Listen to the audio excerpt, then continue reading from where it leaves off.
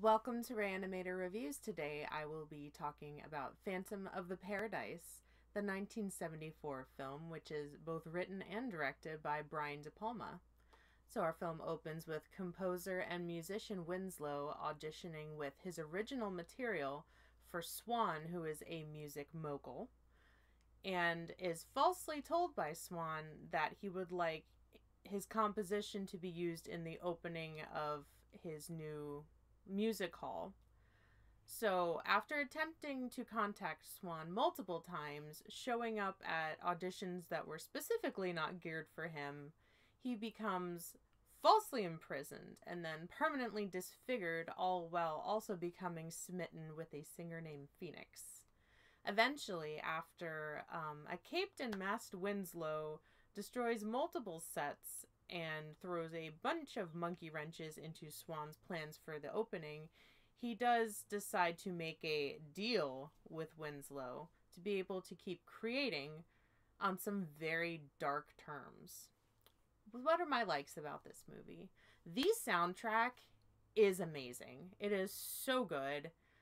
It's no secret that I love oldies, so I particularly enjoyed the Juicy Fruits like you you can't beat that like bubblegum pop 50s 60s music. Hello i love it. Um other than that the original compositions in the film are so good. The performances are incredible. Everyone really knew what they were doing. It was awesome.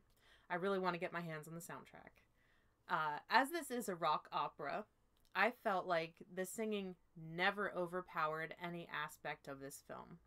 It wasn't like when people stereotypically think of a musical, they're just like, ugh, everything's gonna be singing. I don't like singing. I don't like musicals.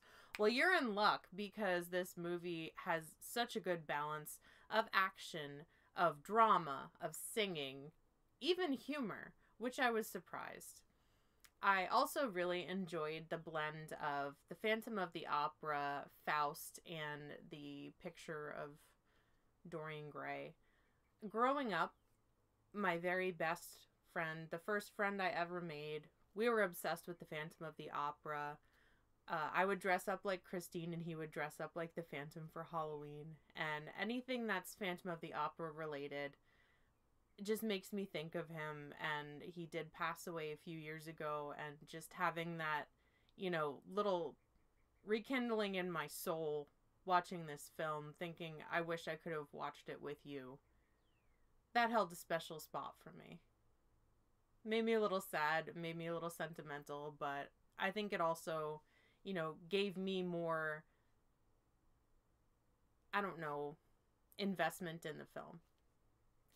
My dislikes. It was a little as as I said there was some humor thrown in there and I was surprised that there was a little more slapstick than I had expected. But I don't think it was super over the top. It just threw me off a little bit, and I didn't know how much the film really needed slapstick. Like humor, yes, you can always throw humor into a horror film or horror rock opera, but I don't know about slapstick. But I mean, it was fine. The gore for me, I'm a snob, was a little lackluster. I felt like they could have done more, especially with the teeth extraction scene and the record press scenes. Could have been a little more in your face that's funny because the record press is on the face. But that's just a personal preference. I like seeing a lot of gore. I like to be grossed out. That's that's my thing. Not everyone's thing. It's fine. So I, I do highly recommend this film. I feel like it has a little something for everyone. You're not going to be overpowered by any particular part of it. And I feel like it is a really good blend, like I said. I do give this a 4 out of 5. I found this on Blu-ray on Amazon. It is also available in other physical platforms and streaming platforms. So I suggest everyone give this a watch. Have you seen this film? What are your thoughts? Leave me a comment down below. Do you have the soundtrack? Where did you get the soundtrack? Because I would like the soundtrack. Let me know. Um, if you haven't already, please subscribe to the channel. I'd love to have you like the video if you liked the video, or you could like the video if you don't like the video. And please hit the bell to get all notifications of my uploads. Um, you can find me on Facebook at Rayanimator Reviews and Twitter at Rayanimator. And please check out Phantom of the Paradise.